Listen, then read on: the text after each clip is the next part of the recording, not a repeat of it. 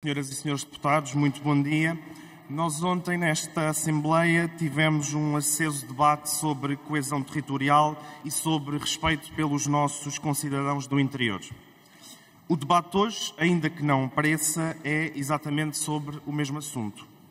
As eleições livres, o pluralismo partidário, a representação proporcional e o sufrágio universal são algumas das maiores conquistas do regime democrático do 25 de Abril.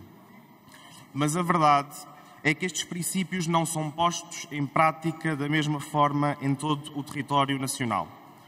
Um jovem que viva hoje na terra onde eu nasci, em Campo Maior, no distrito de Porto Alegre, sabe, e foi assim durante décadas, que apenas pode alterar, alternar o seu voto entre os dois maiores partidos. Nas legislativas de 2022 chegou mesmo oh, a acontecer... Desculpe, eu pedi à Câmara o favor de quem quisesse fazer diálogos não estivesse daqui, porque não se consegue ouvir. Aqui não, não se consegue ouvir o orador. Obrigado, Sr. Presidente. Faz favor continuar. Dizia eu, nas legislativas de 2022 chegou mesmo a acontecer que neste círculo eleitoral de Porto Alegre, um partido com 57% dos votos ficou com 100% dos mandatos.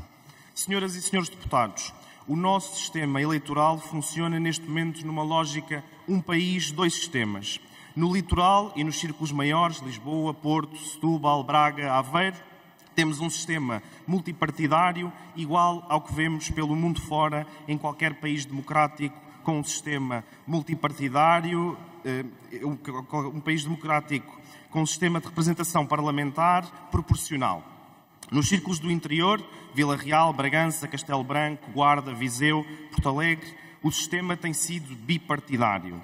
Ou vota num ou vota noutro. E se quiser votar em qualquer um dos outros partidos, o sistema eleitoral encarrega-se de fazer com que esse voto não sirva para lhe dar representação.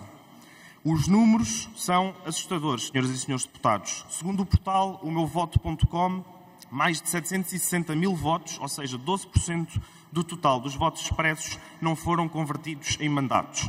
Nas legislativas de 2022 foram 730 mil. Segundo um outro estudo do matemático Henrique Oliveira, do Instituto Superior Técnico, o número pode mesmo chegar a 1 milhão e 200 mil votos, que não foram convertidos em mandatos, o que representaria praticamente 20% do total de votos expressos. Por isso vemos que este Parlamento não representa totalmente a vontade dos portugueses expressa nas urnas. O PAN, que teve 1,95% dos votos, representa apenas 0,4% dos mandatos. O LIVRE, que teve 3,16% dos votos, tem apenas 1,7% dos mandatos. O Bloco, que teve 4,36% dos votos, tem apenas 2,2% dos mandatos. Pelo contrário, a AD, que teve 28,9% dos votos, tem 35,7% dos mandatos. O Partido Socialista, que teve 28% dos votos e tem 34% dos mandatos e o Chega, que teve 18% dos votos, tem 21,7% dos mandatos.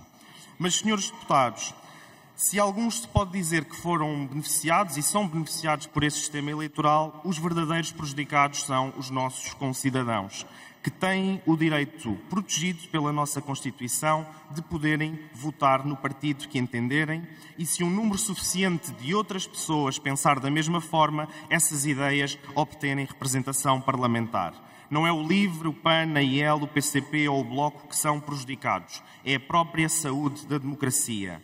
Quando o sistema eleitoral não cria vias de representação do pluralismo da nossa sociedade, mas, ao contrário, reforça uma chantagem eleitoral constante sobre as pessoas, olha que se não votares assim, o teu voto vai para o lixo, essa frustração e essa falta de representação, mais tarde ou mais cedo, viram-se contra o próprio sistema e põem-no em causa.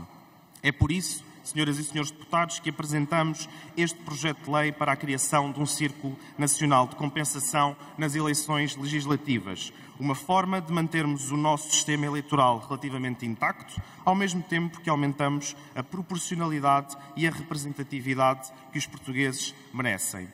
É um sistema bom o suficiente para os nossos concidadãos açorianos, criado e justiça seja feita por um acordo entre PS e PSD E foi precisamente um antigo presidente da Assembleia Legislativa da Região Autónoma dos Açores, do PSD, Humberto Melo, que dizia, em declarações ao Expresso, que o Círculo Nacional de Compensação, e cito, aumentou a pluralidade, a representação tornou-se mais abrangente e isso também trouxe benefícios à democracia e à própria representação dos eleitores, pois há sempre sensibilidades diferentes.